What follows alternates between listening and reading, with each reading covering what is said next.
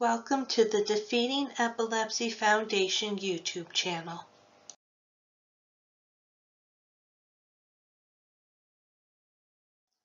In this presentation, we will discuss what a traumatic brain injury is, the symptoms of a TBI, TBIs and epilepsy, a healthy brain versus a brain affected by a TBI, concussions and the risk of epilepsy, chronic traumatic encephalopathy, post-traumatic epilepsy, and treatments available. Make sure to like our videos and subscribe to our YouTube channel. Click on the bell to be notified of future videos.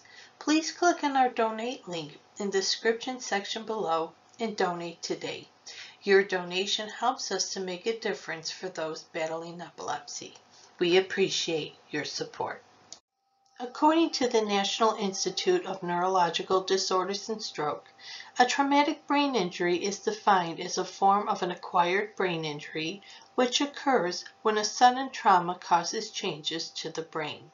Traumatic brain injuries can be mild, moderate to severe. Depending on the degree of the injury can result on how the injury impacts someone's life. According to Mayo Clinic, Symptoms of mild traumatic brain injury are headache, nausea or vomiting, fatigue, sensitivity to light or sound, dazed, confused, disoriented, memory or concentration problems, mood changes, depression, and difficulty sleeping. According to Mayo Clinic, symptoms of moderate to severe traumatic brain injury are loss of consciousness, convulsions, seizures, loss of coordination, profound confusion, agitation, combativeness, unusual behavior, slurred speech, coma, or other disorders of consciousness.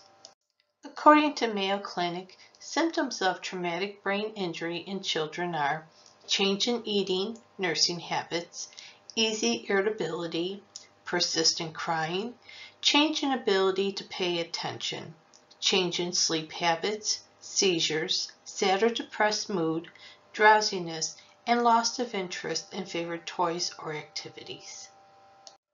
Epilepsy can develop right after a traumatic brain injury or can develop years after. The more severe the traumatic brain injury, the greater the chances the individual will develop epilepsy.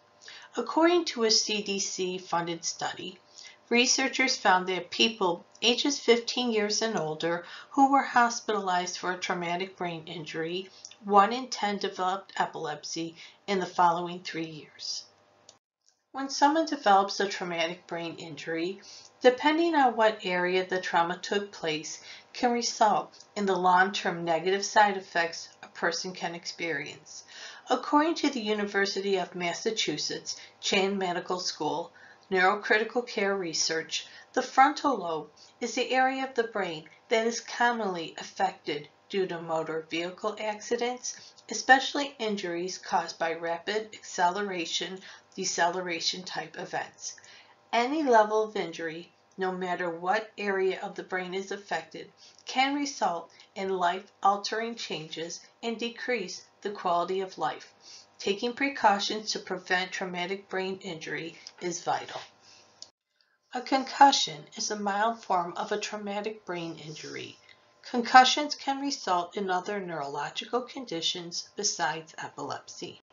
Studies suggest that concussions may double the risk of epilepsy for the average person and increase the risk of developing it by sixfold in people with a family history of epilepsy.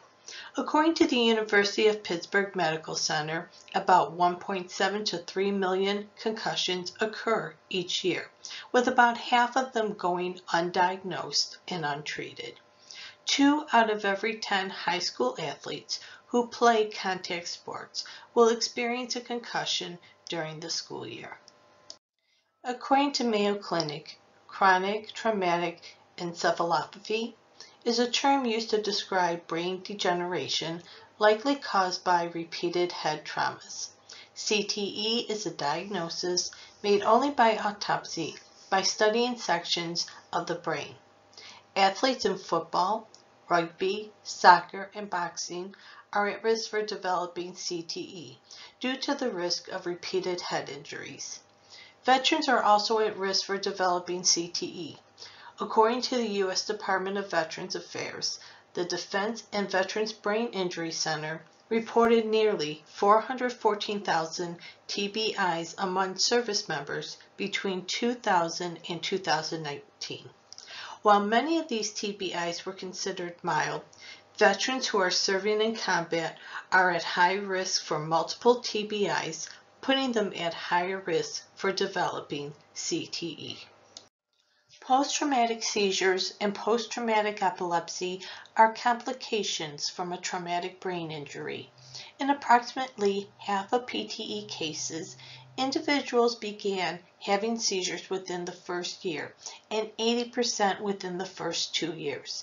PTE is not well understood, but is hypothesized to arise from excessive inflammation and neuronal death triggered by the initial injury. According to Mayo Clinic, mild traumatic brain injuries usually require only over-the-counter pain relievers to treat any headaches. However, traumatic brain injuries need to be taken seriously at any level and the person should be supervised to see if other symptoms arise. They also should schedule an appointment with their primary care physician to see what restrictions, if any, should be put in place to help the person recover. According to Mayo Clinic, moderate to severe traumatic brain injuries need to be treated urgently. Healthcare professionals need to make sure the person is getting enough oxygen, adequate blood supply, and maintain blood pressure. Treatment options include anti-seizure medications to help to prevent any seizure activity from taking place, coma-inducing drugs doctors will put a patient into a temporary coma. A comatose brain needs less oxygen to function. Treatment can help if blood vessels are unable to supply normal amounts of nutrients and oxygen. Diuretics. Diuretics help reduce the amount of fluid in tissues and increases urine output. This can help to reduce pressure and pain. According to Mayo Clinic, emergency surgery may be needed to prevent further damage. Situations that require surgery are removing clotted blood or hematomas. Bleeding outside or within the brain can result in a collection of clotted blood that puts pressure on the brain and damages brain tissue. Repairing skull fractures. Surgery may be needed to repair severe skull fractures or to remove pieces of skull in the brain. Bleeding in the brain. Head injuries that cause bleeding in the brain may need surgery to stop the bleeding. Opening a window in the skull. Surgery may be used to relieve pressure inside the skull by draining accumulated cerebral spinal fluid or creating a window in the skull that provides more room for swollen tissues. According to Mayo Clinic, Rehabilitation is needed for moderate to severe traumatic brain injuries. Examples of healthcare professionals who take part in rehabilitation are physiatrists, occupational therapists, physical therapists, speech or language therapists, neuropsychologists, social worker or case manager, rehabilitation nurse, traumatic brain injury nurse specialist, recreational therapist, and vocational counselors. A traumatic brain injury is defined as a form of acquired brain injury which occurs when a sudden trauma causes changes to the brain. Symptoms can vary depending on the severity of the TBI. Complications such as epilepsy, CTE, and post-traumatic epilepsy can occur.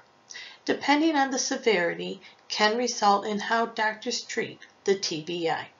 Rest and monitoring for mild TBIs up to surgery and anticonvulsant medications for more severe cases. For moderate and severe cases of TBI, rehabilitation is a must for many patients. There are different levels of rehabilitation for patients. Some examples are physical, cognitive, care decisions, and education.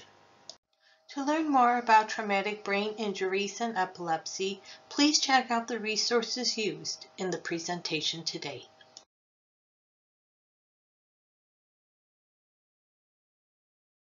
Please like and subscribe to our YouTube channel and follow us on our social media pages. We would love to hear from you. Leave a comment below or email us at info at defeatingepilepsy.org. Thank you for your support and together we will defeat epilepsy. Check out our other great videos and subscribe today. You have the power to defeat epilepsy.